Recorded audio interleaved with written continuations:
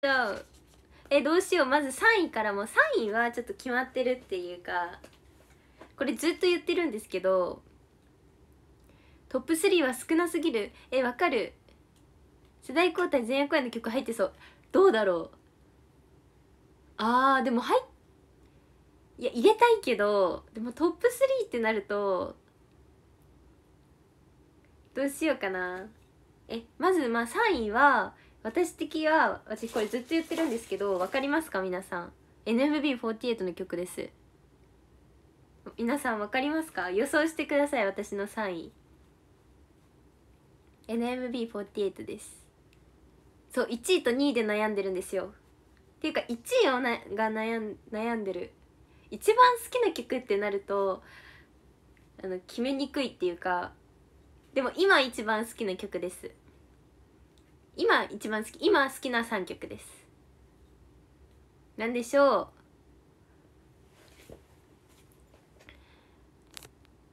ピーク僕らのよりいかジュゴンナメクジハート青春のラップタイムジュゴンおこの中に正解あります。じゃませんでヤッホー。渚最高はまだ解禁されてません。渚最高もいい曲ですけど。青春のラップタイム。そう正解はね3位はなんとこちらです。書きますね3位。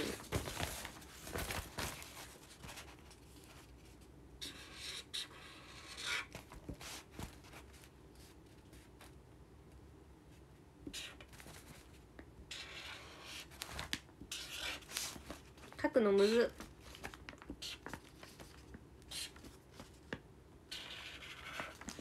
じゃーん。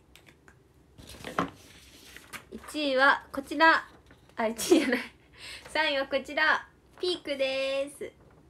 そう私ピークがあの好きであのー、元日の9期生特別公演でユニット曲でねこの曲が入ってたんですけど私はあのあのうわ急にどうするした名前。僕が負けた夏だったんですよ。そう思い出した。僕が負けた夏でピークはピークのメンバーじゃなかったんですけど本当に好きで大好きでこの曲が。もう初めて聴いた時からずっと好きであのもうね最初の入りの音とかめっちゃ好きなんですよ。チャララララランっていう音が。それでピークがあの3番です。3位です。そして2位。2位を考えましょうか。そうピークはあのー、まあ、歌詞も好きなんですけどなんていうのリズム感っていうか最初の音とかもめっちゃ好きでこんばんは皆さんこんばんは。そうピークね。そう新春は僕負けだったんですよ。僕負けもめっちゃ好きなんですけどやっぱあのピークねどうなんだろう。なんかさあのー、1周年あのその元日だから今年の元日にやった公演の1周年後来年の1月1日にまた同じ同じというか特別公演があるじゃないですか。そのそれで同じ曲をやるやるのかそれともユニットがまたシャッフルされるのかみたいなのめっちゃ気になってて。皆さんはどんななんかどう思いますか？シャッフルされると思いますか？それともなんかその時にやったメンバーで同じ同じメンバーでやってそのなんかちょっと成長みたいな。成長度合いみたいなの。どうなるんだろう。めっちゃ気になる。そこも。私はピークやりたいです。メガネしてる時口が開いてる。アドレナリンのリオピ確認したい。えー、あしあさってか。あさっての公演でぜひ確認してください。体力が落ちすぎてて多分やばい。本当にあの話それるんですけど公演世代交代前夜公演ずっと出てなくてチカッパ祭の前なんでラストが。そっからずっと出てなくて体力が絶対なくなってると思ってやばい。緊張する。あ決勝もいい曲だよね。うわえ待ってどうしよう。ちょっとさ候補がいろいろ出まくってきた。待ってました新学期。あ待ってました新学期はちょっとちょっと合わない気がする。もうあのもうちょっと下のね9期はね私より下のメンバーが多いんで年齢が。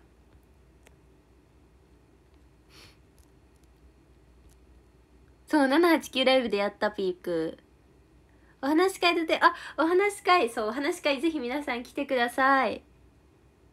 えわかる？ピークで指さしてあ指さすところってあそこ？この「人生はあっという間」のところかな。え私そこそこねめっちゃ好きで。わかる。一生好きなところ。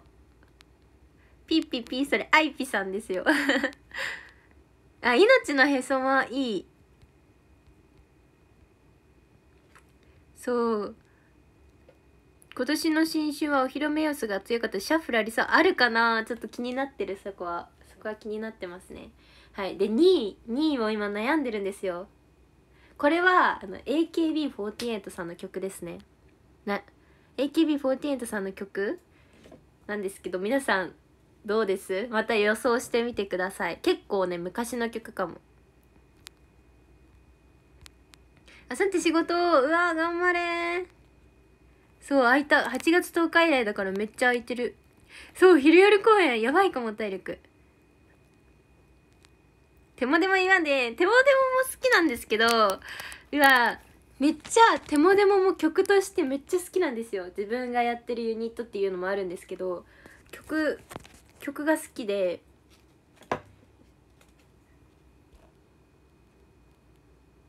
うわどうしよう。えプライオリティもリオピが好きって言ってるイニシャル言ったあのあのモバメで言いましたね。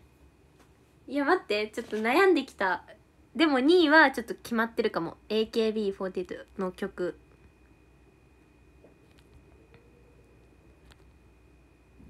初日えー、ビンゴハートの独占権ちょっと待ってね。ヘビーローテーション、初日会いたかった、ビンゴ、モニーテルとシュシュ。うわー。この中に正解あります。最強ツインテール。おおこの中に正解あります。正解はですね、えー、っとね、誰だ？誰だ言ったのは？あ、この方。マチさん。マチさんのこれですよかけるかな？ちょっとちっちゃくなっちゃうかもヘビやばいやばい入んない。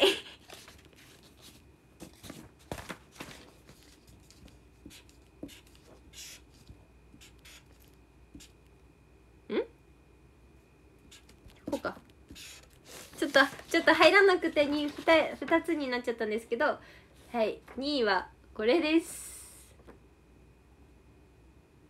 ヘビーローテーションも大好きなんですよこの曲。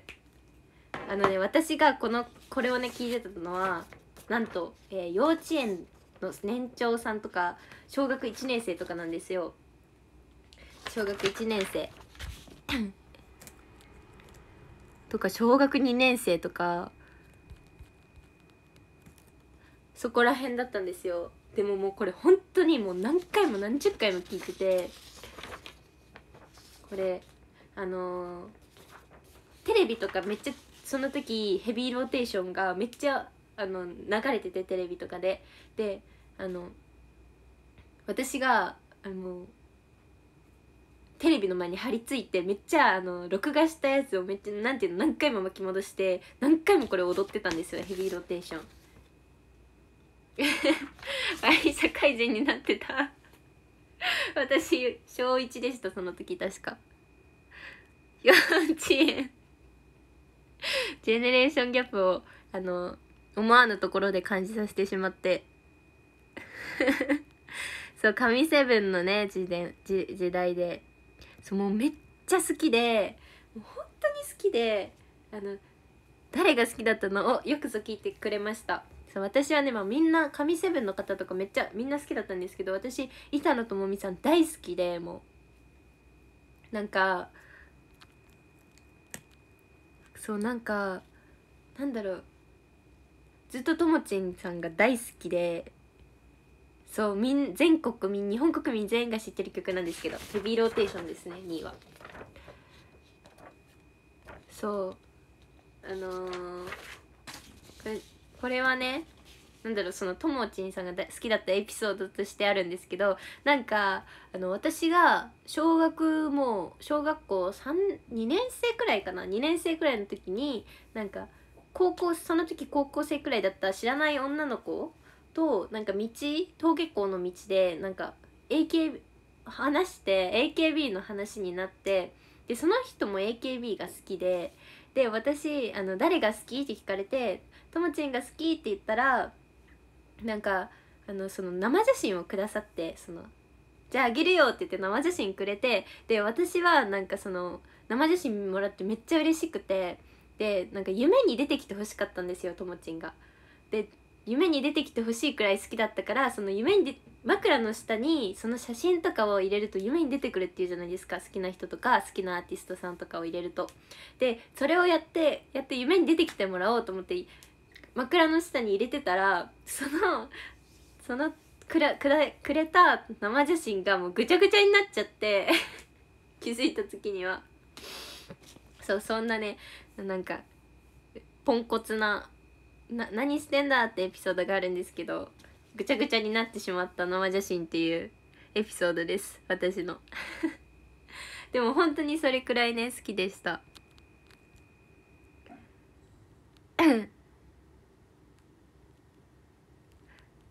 握手会当たったよ。おー楽しみ。そうみんなだからねその何がどんな曲好きだったとかぜひ握手会で教えてください。ジェネレーションギャップに冷や汗が止まりません。ジェネギアがそうともちとも板野友美さん大好きでした。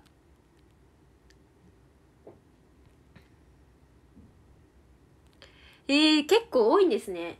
ともちん推しの方は。そうそれがね2位がヘビーローテーション。もうヘビーローテーションってあのミュージックビデオめっちゃ可愛くない？あれも好きですね。好きな理由。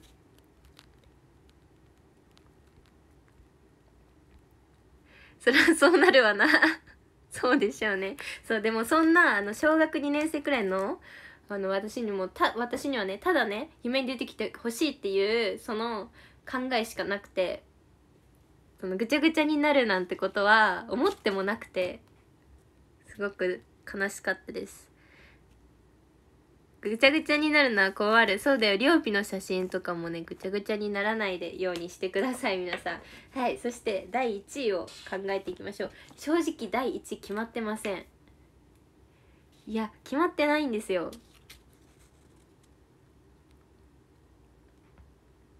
大阪の握手会レーンにマリオ出没します。あもうみんなマリオキャラで来てくださいぜひ。そしたらすぐわかるんで。うん。いやジェネレーションチェンジ？ジェネレーションチェンジも好きなんですよ。えー、どうしようどうしよう。国歌かな。いやそれもめっちゃ悩んでて。でもあの NMB48 の中の曲で好きな曲があって。1位だけ決まらないってあるんだ。そうなんか1位ってさ決まんなくない？なんか全部好きなんですよ私。話し会としゃべが人間で参加させてください。まあそういう方がいてもねいいでしょう。まあ1位はやっぱりこれかな。ちょっと決めました心の中で。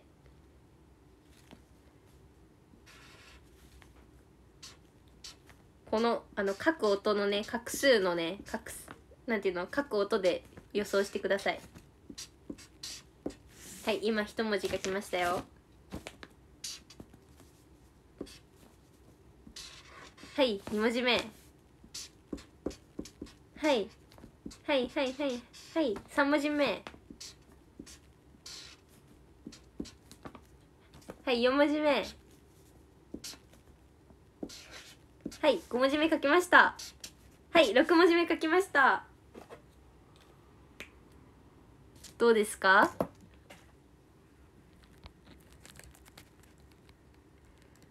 ロタピーポーでワルトピーポーもいい曲だけどね。え？みんなすごい。じゃん。1位夢は逃げない。すごい。なんでだろう？なんでわかったの？ちょっと後でこれは書き直すのでちょっと汚くなっちゃったんで書き直してツイートするんですけど。はい1位は夢は逃げないです。手もでものな手もでもの涙あ手もでももね6文字だったんで確かに。手もでもかもっていうかも。みんな大体夢逃げ大好き。いやそりゃあやっぱそうですよ。夢は逃げない。まあね研究生なので私たちは。結構やっぱね歌詞がね刺さるじゃないですか。なので好きな人は多いと思います。夢は逃げないです。はいこちらが私のトップ3ですね。1位はね「夢は逃げない」はもう歌詞がやばいよ。歌詞めっちゃいい。もうなんなんかあのいつかはねあのライブでやりたいなと思ってたら789ライブでねやらせていただけいただけてやらややることができて めっちゃ嬉しかった。でもこの曲はあの振りがめあの ピークがでかい。確かにちょっとちょっと幅取っちゃった。この曲はね振りが秋田先生であのちゃんと振り入れをしてもらったんですよ。だけどもうめっちゃ難しくてなんかイントロが特に難しくて。そう。イントロがあの、振りがね細かいんですよ意外と。それが苦戦した曲ででもやっぱ曲が好きだからあのねこの曲が好きだから頑張れる 感じですね。一文字目で時間かかったし確かに分かりやすかったかも。はい。これが私のトップ3です。時間が10分余りました。他にも好きな曲あるから。あとね最近は最近 よく聞く聴いてる曲は「太陽が坂道を登る頃」とかあとは昔の AKB の曲が昔でもないか私からしたらめっちゃ昔なんですよ。幼稚園とか小学校の頃の曲だからね。昔聴いてたのはあポニーテールとシュシュもめっちゃ聴いてた。ヘビーローテーションの次に好きかも。ポニーテールとシュシュあとはなんだろう何聴いてたかな？結構ねあの AKB の曲をたくさん聴いてそう神セブンのねと呼ばれる時代の時代だったので。どの辺が難しい？どの辺が難しい？あのじゃんじゃんじゃんじゃんじゃんじゃんじゃんじゃんじゃんじゃんじゃんじゃんじゃんじゃんじゃん。じゃんじゃんじゃんじゃんちゃかちゃんちゃかちゃんのところが難しいです。伝わる？じゃんじゃんじゃんじゃんじゃんいくぞ。ちゃんちゃんちゃんちゃんちゃかちゃんこの後のこの後が難しいんですよ。これのトントンっていう。語彙力がなさすぎて「ちゃっかちゃんトントン」とかしか言えないけどそう難しくてそのイントロが本当に私はね苦戦しました。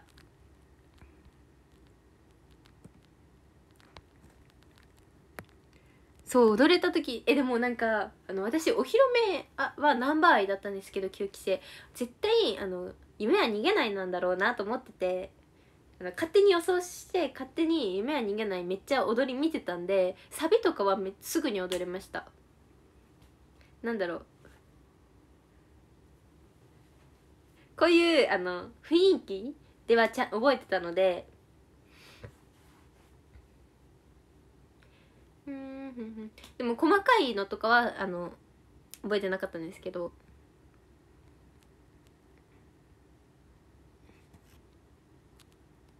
ゆぴょしてる千葉で待ってる。あそう今回千葉ね幕張行くので待っててください。私がレジダル失礼ごめんなさい。えポニーテールとシシは幼稚園じゃないかも。それはあの小学校かな。小学1年生とか2年生だった気がする。そう十何年前なのでね。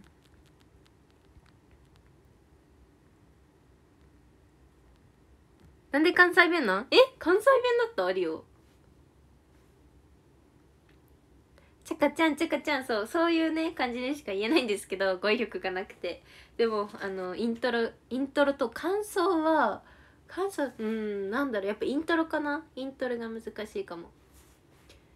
私ダンスがあんま得意じゃないんで。そうイントロイントロかな？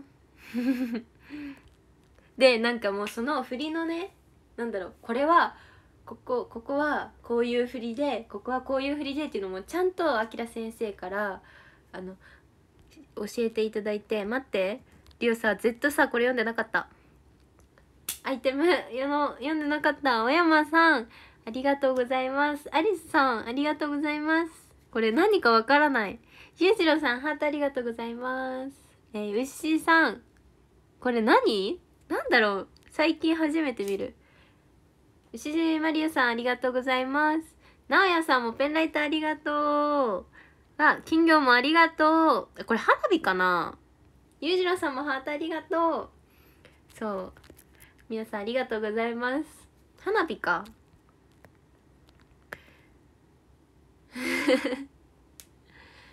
あとはねタンポポの決心も好きだし他の曲だと。太陽が坂道を登る子も聴いてるしタンポポの決心も好き。ジェネレーションチェンジも好きだし手もでもの涙も好きだしもちろん。あとはねあと何が好きかな。うーんあ最強ツインテールもめっちゃ好き。あとは最近聴いてる曲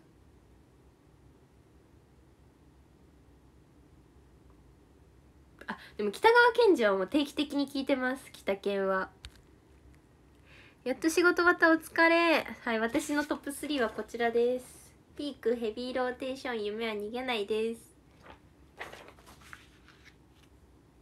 不毛はやっぱり難しかった。不毛やばい。マジで難しい。今でも難しい。そう。あひきら先生の振りって振りで歌詞を思い出したりするのかな？振りで歌詞思い出したりする？なんかでもそのそのこういうのとかこういうのとかこうこうやってるのとか一つ一つにちゃんとなんだろう意味があってなんかそう頑張れって言ってこうやってうなずくのとかはうんってうなずいてるやつとうなずいてるとか声をあとこういうこれはちゃんとなんだろうサビのこれはこういう振りあるじゃないですか。これはなんか声を聞いてるみたいな。声を聞いて頑張ろうみたいなことを言ってました。声を聞いて聞こえて頑張ろうっていうのとかあとはなんか本当に全部に意味があってこもう何から何何から話したらいいかわからないくらい本当に一つ一つに意味が込められてるんですよ。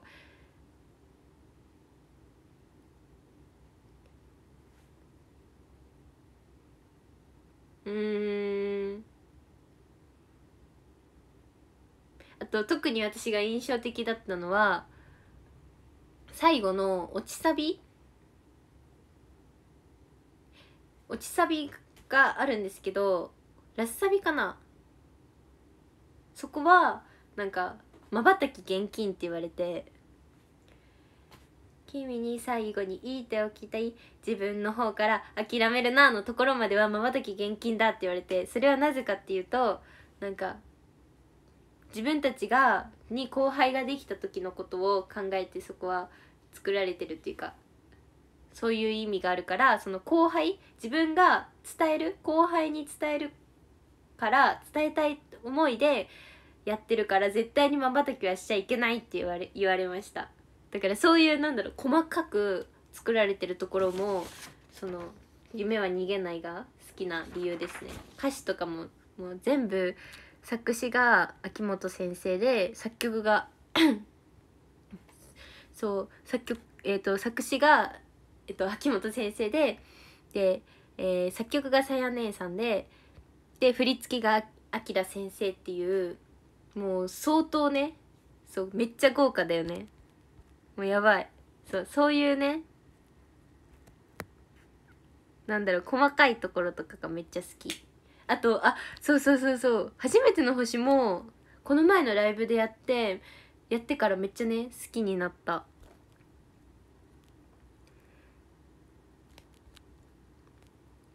ゆじろさんハートありがとう。そうまばたき現金って言って。そうめっちゃ細かくね作られてるんでそれもいつかなんかお話できたらいいなと思いますが。はい今日はねえっと15分からやってるので30分なのでね123位はこんな感じでこんな感じでした。またあの書き直してこれは書き直してツイートしますね。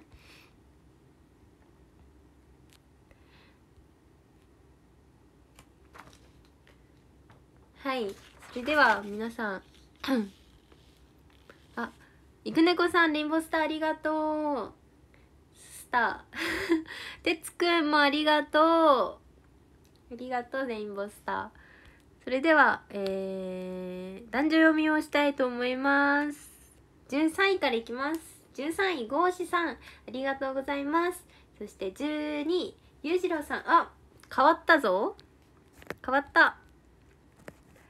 13位から読みますね。えー、13位、マスオさんありがとうございます。そして12位、てつくんありがとうございます。そして11位は、えー、ゆうじろうさんありがとうございます。そして10位、北野大地さんありがとうございます。えー、9位が牛島りおさんありがとうございます。そして8位、小山さんありがとうございます。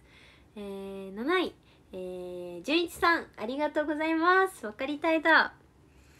そして6位マッチさんありがとうございます。そして5位宝野さんありがとうございます。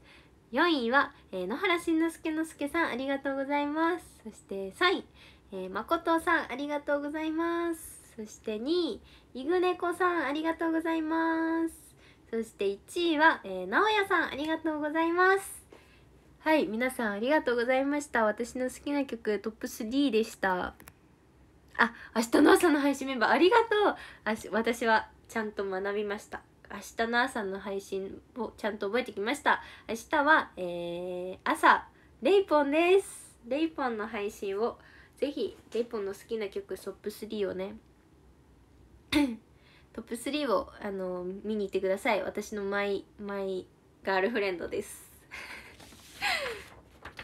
はいえっ、ー、と27日にえあさって世代交代前夜公演昼夜公演あるのでそちらも見に来てくださったら嬉しいです。そしてえっ、ー、とオンラインお話会えー、個別握手会個別写メ会肩たたき会の、あのー、二次受付ももうすぐ始まるのでそちらも見てくれたら嬉しいです。ツイッターツイッターに載ってるのでね好きな時に来てください。